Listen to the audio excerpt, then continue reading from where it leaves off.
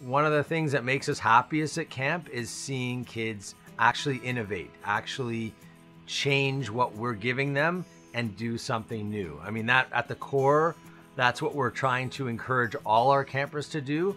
Um, you know, not all campers are ready yet. Some campers still want to know what's the next step, what's the next step, which is very much what they learn in school to follow the, you know, teacher's steps. Um, and here we, even though we're teachers, we want to see kids kind of change the steps, break the rules a little bit, and try something uh, of their own interest. You know, that's really when we feel this place is worth it, when those kids actually make something new that we never intended or even thought about. That's when we feel like this is really everything we're doing is worth it. The STEAM Project Summer Camp is a summer camp that focuses on science, design, and technology, all the while encouraging our campers to be curious, to use innovative thinking, and to solve problems in a campy and supportive environment. At camp, we embrace individuality and we provide campers with the opportunity to grow, to experience, and to learn from others. So on a typical day at camp, uh, campers start their mornings by learning about a concept or skill. Uh, in terms of a concept, it would be an activity such as a scientific investigation, or when it comes to skills, it could be learning how to design for the 3D printer or using a simple tool such as a screwdriver. When they come back from lunch in the afternoon, uh, they are focused on doing a project or a design challenge that's based around the theme of the week. And at the end of the day, during open activity, uh, campers get to choose an activity that they would like to pursue further, such as more 3D printing, robotics, or even flying a drone.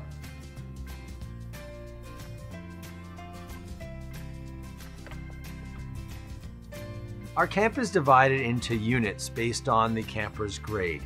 From there, some of the campers will have skills that they've developed from our last summer, or some may come to us with skills they've learned in school or in other programs. So when we're completing an activity, based on the camper's skills, we may have some campers working with a staff learning the skills for the first time, and other campers are brought with another staff to a more advanced level. We cap our enrollment so that we can make sure every camper gets the attention they need and can really maximize their learning. The benefit is that the directors also get to know every single camper at our camp. This helps us understand what they need and adapt our program better to suit them.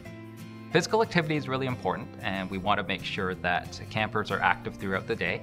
Uh, every morning, we have a physical activity block where campers get to join in in a sport such as soccer or hockey, or they could skip rope or throw a frisbee. Uh, after lunch, during cabin activity, they also get to join other cabins in a sport, or they may play a game such as tag or capture the flag. And one of the important aspects of our camp is that our, our campers learn empathy and learn how to design uh, with people in mind. So, you know, our campers are going to have access to all kinds of technology and they're going to be building projects. But one of the focuses we try to have with those projects is thinking about how those projects can help other people, whether it helps them, you know, make them happier or maybe it helps, you know, them with transportation or solve some kind of problem for people.